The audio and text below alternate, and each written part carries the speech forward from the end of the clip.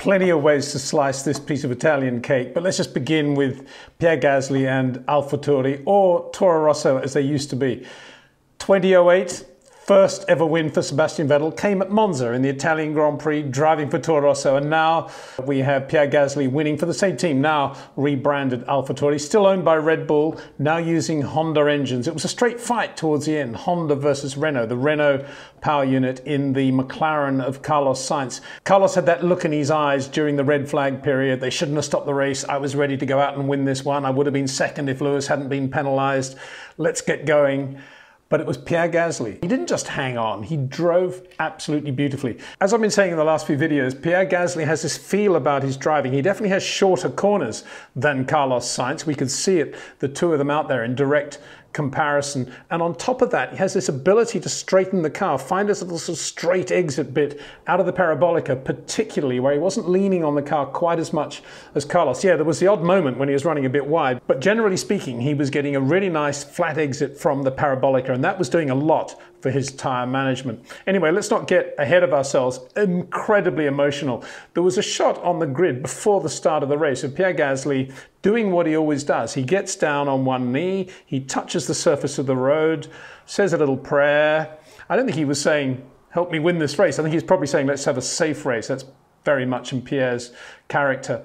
But very Matthew Hayden, you know, the Australian batsman always touching the wicket before he goes into bat. And the same thing with Pierre Gasly. He has this feel, the surface of the road, and, and that win was just as good as you're going to see anywhere.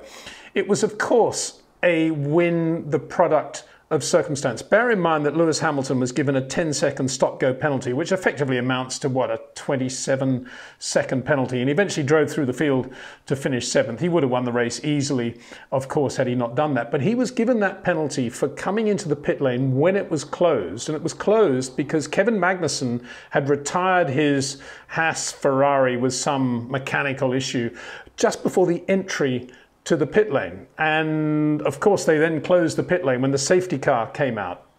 But just before the safety car came out, and after Magnussen had stopped, Pierre Gasly made it into the pits. Brilliant call by AlphaTauri, by Franz Tost and the team to get him in there, get him off the soft tyres, get him onto the hard tyre. And then when there was the red flag and they stopped the race completely due to Charles Leclerc's accident at the Parabolica, they were able to put him on the medium tyre. And that was what enabled him to race one-on-one with Carlos Sainz. So a lot of things had to happen for Pierre Gasly. Remember, he was like P10 in the early phase of the race. Indeed, going into the first corner right off the line. He had a big moment with Alex Albon. Three into two wouldn't go, and Alex Albon was punted off to the left. But he definitely made contact with Pierre. But it says a lot, I guess, for that AlphaTauri chassis that was able to carry on and and and win the race. Did I just say that and win the race? Yes, Pierre Gasly won the Italian Grand Prix. Absolutely amazing. So happy for those guys. I thought it was really nice at the end when Carlos Sainz, who obviously was disappointed to be second on this day when the win was out there to be to be taken by any number of drivers, that he went along to all the AlphaTauri, the Toro Rosso guys. Of course, he used to drive for Toro Rosso as well. So there's a lot of ironies in all of that. But let's take the race overall. Okay, this is a race where Lewis Hamilton, for whatever reason, gets this penalty. So he's never going to win the race. The most he can do is drive through the field and finish as he did in seventh place, setting fastest lap. So you would imagine, first of all, that Valtteri Bottas would, would win this race. That's what Mercedes hiring for. If Lewis has a problem, you're going to win this race, Valtteri. Well, he didn't. He was really nowhere. He drove one of the worst or the slowest or the most uninspiring opening laps I've seen in a long time. And thereafter, he was in traffic. First of all, he was saying that the car felt as if it had a puncture. Then there was a temperature issue. He couldn't really get past Lando Norris's McLaren. He was just there and trying and trying and trying, couldn't do it. So Valtteri didn't win. So who else was going to win? Well, Max Verstappen, you'd say. Well, Max was never really in it. As I said yesterday, he didn't have a great qualifying session. There was a little bit of traffic. The Red Bull wasn't great in its trimmed out form and he was kind of nowhere in the race and eventually retired. So he was out as well. So now who are we looking at? We're looking at potentially, I don't know, Ferrari. Well, forget Ferrari. They were never in it.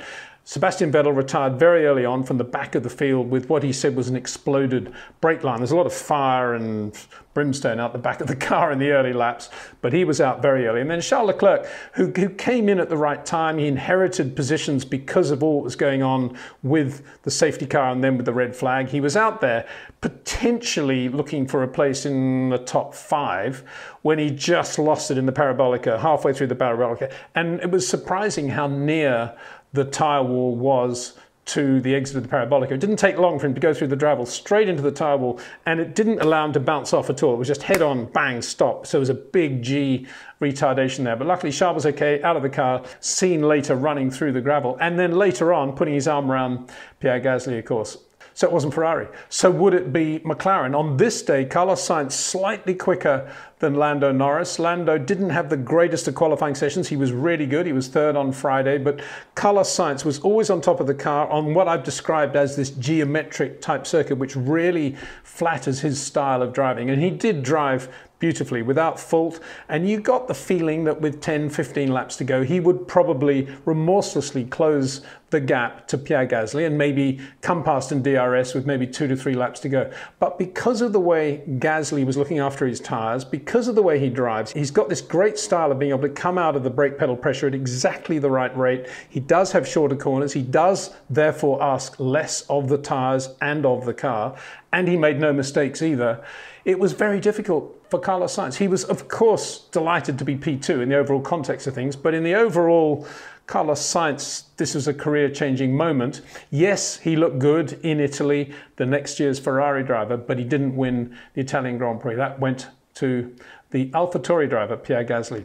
P3, Lance Stroll, he too benefited from all the stuff that was going on because he stayed out. He didn't come in. And then when the red flag came out, he was able to come in and get a free pit stop onto the hard tyre. So that was a big, big move for Lance Stroll. He gained track position by not coming in and then was rewarded with a free pit stop. So he drove well to finish third. But I think that's a reflection too in a relatively straight fight of where Mercedes are now relative to Renault and Honda. Looks like kind of parity. And that's a really good thing. If this regulation has done nothing other than give us a more equal playing field between the engines on race day, that's a really good thing. So Lando Norris finished fourth. He'll be a bit disappointed with that, but nonetheless for McLaren's second and fourth, great result at Monza. And Valtteri Bottas was fifth, an uninspiring fifth and a disappointed fifth, I would guess, for Mercedes on a day when really he should have won the Italian Grand Prix with Lewis, as I say, having that problem. P6, Daniel Ricciardo, he did a really good job in the Renault. He had to look after his tyres two thirds of the way through the race. He didn't quite have the pace of the McLaren, but nonetheless, for Renault, this is a strong